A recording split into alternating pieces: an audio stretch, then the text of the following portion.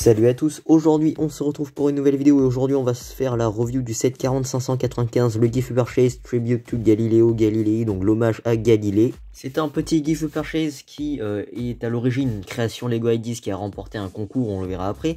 Une petite boîte de 307 pièces valorisée à 24,99€ par Lego et euh, qui actuellement est euh, offert pour 130€ d'achat minimum sur la boutique en ligne Lego du 1er au 16 novembre. Donc au moment où je tourne la vidéo, vous avez encore quelques jours pour profiter de cette offre promotionnelle. Et on va dans cette vidéo essayer de répondre à la question est-ce que ça vaut le coup 130€ d'achat minimum? Bon alors déjà on va juste faire un petit tour de la boîte, franchement je la trouve plutôt sympa. On a évidemment un petit packaging type Lego Icon avec un fond noir pour vraiment bien montrer qu'il est un produit de luxe. Avec évidemment le petit logo euh, Tribute Galileo Galilei, donc l'hommage à Galileo. Avec euh, une espèce de figure géométrique, un cercle, un truc comme ça. Parce que bon, Galileo c'était un scientifique, savant, mathématicien, astronome, physicien, enfin tout ça. Euh, du 17 e siècle, on verra après aussi. Et aussi un petit bandeau, un petit liseré de briques avec le logo Lego IDs et les informations 18+, 4595 et 307 euh, pièces. Sur cette tranche là, on a une petite photo de l'arrière de la boîte auquel on peut voir Galilée en train de pointer euh, une étoile, en train de pointer la lune ou quoi que ce soit avec sa lunette astronomique. Et à l'arrière de la boîte, on a évidemment bah, d'autres photos, d'autres fonctionnalités. Donc une autre photo de notre gift purchase avec Galilée euh, dans son bureau. Avec évidemment bon, le petit euh, topo, euh, comment ça fonctionne, le programme Lego IDs. Avec eh bien évidemment la fonctionnalité, une photo ici de la seule jouabilité, bon, fournie dans on verra après. Ainsi les dimensions, donc on nous dit grosso modo, ça fait 19,2 cm de long sur 9,46 cm de haut. Voilà, vraiment pour être précis. Alors déjà rien que le packaging c'est plutôt sympa, plutôt attrayant. Donc moi personnellement ça peut directement me faire craquer. Bon, alors euh, voilà, je viens de faire l'unboxing de cette boîte et euh, bah euh, voilà le bah, voilà ce qu'on a dans cette boîte. Alors on a plusieurs sachets, on a des groupements de 3 sachets, donc on a les sachets 1, sachet 2, sachet 3, donc on a au total 6 sachets et là ce qui est déplorable c'est que justement eh bien on a des sachets qui sont presque vides, genre des vraiment des petits sachets. Lego aurait pu faire un effort pour mettre des sachets dans enfin pas des sachets dans des sachets mais regrouper tout dans un seul sachet pour des catégories de sachets. Et en plus de ça, bah, c'est des sachets plastiques. Donc ce qui est dommage c'est que pour niveau écologique, c'est pas terrible euh, donc voilà, beaucoup trop de sachets pour euh, un seul gift purchase. Euh, néanmoins, aussi un autre détail qui a déploré, mais on verra après, on a une petite planche de stickers. Bon, Lego aurait pu tempographier, mais on verra ce détail après. Et puis, et puis la notice... Ensuite, on va parler de la notice rapidement. Bon, vous venez de la voir, mais voilà, c'est une notice. Alors, on remarquera que on a un petit topo sur bah, la, fan designer qui avait proposé l'idée sur le site Lego IDs, donc Jessica Kiaye, donc c'est cette dame-là. Et euh, elle avait euh, proposé euh, son idée, donc l'hommage à Galilée lors du concours, de faire un set qui rend hommage à une personne, enfin un set, un gift purchase, donc les, les, fans étaient libres, il me semble, et c'était un concours via Lego Ideas. Et donc du coup, bon, bah, c'était cette dame-là qui avait remporté le concours sous le nom de Firecracker. Et bon, l'idée c'était donc du coup de, faire, de rendre hommage à Galilée via une petite construction en petit diorama. petit diorama qui d'ailleurs se rapproche beaucoup bah, de la construction que l'on verra après euh, d'ailleurs. Et euh, grosso modo ce qu'on dit via euh, ce via ce petit topo, c'est que bah, justement, comme elle travaille dans le milieu scientifique, elle fait des études en sciences, un truc comme ça, et eh bien à chaque fois qu'elle rentre des cours, et vu qu'elle a un emploi du temps assez chargé, à chaque fois qu'elle rentre, et eh bien jouer au Lego ça lui permet de se détendre, et vu qu'elle avait vu ce concours là, et eh bien elle avait voulu participer, et évidemment bah, elle a remporté. Évidemment, trois groupements de sachets, on l'a vu tout à l'heure. Euh, on a aussi la liste de pièces parce que ça fait quand même 307 pièces, hein, c'est pas rien, 307 pièces. Donc euh, voilà le set une fois monté, je vais essayer de faire le plus rapidement possible pour vous présenter ça. Et on va commencer par la figurine. Donc vous l'aurez reconnu, c'est la figurine de Galilée. Galilée, le célèbre euh, scientifique, célèbre mathématicien, physicien, astronome italien du XVIIe siècle.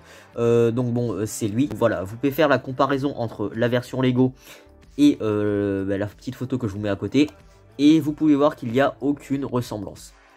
Alors on va déjà parler de la figurine, elle n'est pas inédite, elle n'a rien d'inédite.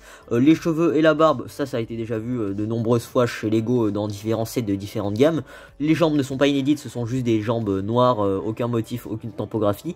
Le torse n'est pas inédit puisqu'on l'a vu dans le set Friends Apartment et c'était Ross Geller qui portait ce torse là, donc une espèce de chemise grise. En ce qui concerne la tête, on l'avait vu dans le set l'année dernière, enfin oui l'année dernière on avait vu dans le set Rivendell, donc c'était Gandalf Cornelius, un truc comme ça portait, enfin qui, qui avait cette tête là, donc de, de l'enlever pour vous montrer. Euh, c'est tellement neuf que c'est compliqué. Donc voilà, on a la tête de Gandalf, pas de double expression de visage.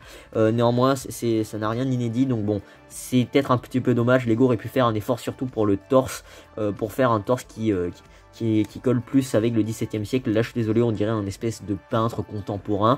Donc bon, franchement, c'est pas terrible pour la figurine. On va passer maintenant à ce qui nous intéresse le plus, euh, enfin ce qui m'intéresse le plus moi personnellement, je sais pas ce qu'il en est pour vous, euh, à savoir le bureau de Galilée, parce que maintenant qu'on a vu que la figurine n'est pas terrible, eh bien le bureau de Galilée pourra sûrement nous consoler pour exposer cette figurine là et rendre tout de même hommage à Galilée.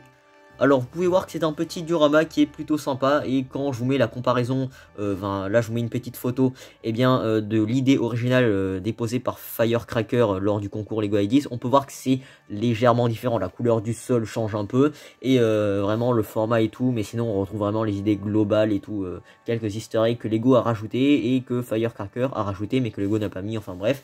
On remarquera que dans ce bureau là qui possède des murs disposés en angle, hein, donc ça fait un truc comme ça, eh bien on, on, a déjà des pièces de charnière justement pour faire ces angles là, et il y a déjà un petit constat et ça, malheureusement, c'est un petit peu dommage pour la finition des murs. On a des plates en tenon apparent. C'est un petit peu dommage. Lego aurait pu mettre des plates lisses, donc des, euh, tiles, pour euh, faire une finition un petit peu plus, euh, on va dire, bien faite. Là, c'est pas terrible. Donc, si vous avez des pièces, évidemment, des tiles en, en, type Nougat, bon, à vous de faire. Mais je pense que Lego aurait pu quand même fournir ces tiles-là, parce que là, c'est vraiment pas terrible, la finition. Donc bon. Néanmoins, on se consolera avec les nombreux détails et easter eggs qui sont fournis dans ce bureau. Et on va commencer par ce petit globe posé sur une brique euh, marron qui fait office de petite table basse. Donc ce globe qui, bon, déjà est euh, imprimé, tampographié sur une tête de figurine Lego, qui n'est pas inédit puisqu'on l'avait vu dans le set Sanctum Sanctorum l'année dernière. Et euh, bon, c'est un petit peu dommage parce que ça a plus la forme d'une figurine, enfin d'une tête de figurine Lego que la forme d'une sphère de type terrestre. je pense que Lego aurait pu faire, aurait pu tampographier ce globe là sur une boule comme ça pour faire une pièce inédite. Là, non. Donc bon, Lego a été un peu à l'économie. On se consolera peut-être avec d'autres détails comme par exemple ici une autre table basse euh, de type marron posée sur une avec deux sphères, alors une sphère plus petite grise et une sphère euh, un petit peu plus grosse grise aussi, bon euh, du coup plutôt en silver métallique mais grise quand même, donc ça doit représenter la lune, donc une des deux boules doit représenter la lune ou peut-être les deux boules doivent représenter la lune. Ou alors ces deux boules doivent, doivent représenter des astres astronomiques, je sais pas trop. On a sur le bureau un petit compas doré Bon, c'est une pièce plutôt sympa hein, pour euh, parce qu'on l'avait pas euh, vu énormément de fois, surtout pas dans cette couleur là, il me semble. Donc bon, c'est plutôt sympa. On a euh, ici euh, un petit pot pour mettre la plume pour écrire parce qu'à l'époque au XVIIe siècle il n'y avait pas de stylo 4 couleurs et Galilée devait se démerder avec de la plume et de l'encre. Ici on a une tile avec un sticker qui représente un croquis euh, de la lune, un sticker qui est très mal posé, qui n'est pas centré. Malheureusement je suis pas un pro pour coller des stickers. Et évidemment la pièce maîtresse de ce bureau là, évidemment la seule fonctionnalité de jouabilité dans ce set là, à savoir le système héliocentrique, donc le système où la Terre tourne autour du Soleil et qui pourrait être animé par un système de de, on va dire, de, de roue dentée d'engrenage qui est en fait à l'arrière. Donc on va juste faire tourner ça. Et en fait vu qu'il y en a trois des roues dentées comme ça si l'une tourne les autres sont euh, tournent enfin tournent aussi du coup ce qui veut dire que quand on tourne ces, euh, ces euh, roues dentées enfin cette roue dentée là on a le système héliocentrique qui fonctionne avec la terre qui tourne autour du soleil. Et ça c'est plutôt sympa. Ça a été déjà vu dans bah, l'idée originale déposée par Firecracker. Et Lego a, a repris hommage à l'idée originale en gardant ce petit clin d'œil on a un petit tableau ici avec un sticker euh, collé sur une tile 4 par 4. Alors je savais pas que les tiles 4 par 4 ça existait mais bon visiblement ça existe. Et c'est un sticker, ce qui représente le tableau de, peinture de la tour de Pise. Alors pourquoi la tour de Pise? Certains fans voyaient ça comme, euh, justement euh, un clin d'œil, comme quoi Galilée euh, était justement né à Pise, hein, parce que Galilée était né à Pise et certains fans voyaient ça comme un hommage pour lui rendre hommage parce que Pise étant sa ville natale. D'autres fans voyaient évidemment que c'est un easter egg pour un prochain set de la gamme Lego Icons ou un prochain set de la gamme architecture et qu'on aurait une tour de Pise peut-être en 2024, je sais pas. Quoi qu'il en soit, bon, même si c'est un sticker, néanmoins, on remarquera qu'il est plutôt joli. Hein. C'est rare que je dise qu'un sticker c'est joli, mais là, faut être honnête, il est joli. On a ici une petite commode, un petit meuble euh, de couleur marron qui représente un meuble euh, en bois. Donc ça doit être ouais, une espèce de commode, un buffet avec euh, un petit coin pour ranger des livres ici. un tiroir qui est ouvert mais qui est un petit peu cassé. Donc du coup ce qui fait qu'il est légèrement penché avec une petite lettre qui traîne par terre. Avec évidemment un petit verre en or placé sur cette petite commode là pour la remplir un peu plus. Ici on a évidemment la célèbre lunette astronomique, le célèbre télescope de Galilée. Alors Galilée, c'est pas le mec qui a inventé le télescope, néanmoins c'est le mec qui a rendu la lunette astronomique, donc le télescope populaire. Parce que c'est notamment lui euh, le premier à avoir foutu son œil euh, dans l'oculaire d'un télescope. Donc bon, là on est au XVIIe siècle, hein, les télescopes c'est très simplifié. Là c'est juste un tube, évidemment, euh, Galilée place son œil ici et peut observer. Donc il a notamment observé les satellites de Jupiter, la Lune, enfin il a fait plein de découvertes et tout avec sa lunette astronomique. Donc bon voilà il est temps de conclure cette euh, petite euh, vidéo review concernant ce Gift Purchase donc j'ai pas trop été objectif je vous avoue parce que moi euh, c'est quelque chose qui me parle. C'est quelque chose que je trouve plutôt sympa. Étant fan d'astronomie et je me devais de rendre hommage à Galilée. Mais voilà j'ai trouvé ce set plutôt sympa tant dans la partie montage hein, parce que au terme en, ce qui concerne là l'expérience de montage c'est franchement plutôt sympa. En ce qui concerne les détails easter egg et techniques de construction c'est plutôt sympa aussi. Euh, ça représente un petit diorama. C'est pas toujours qu'on a un diorama euh, représentant Galilée.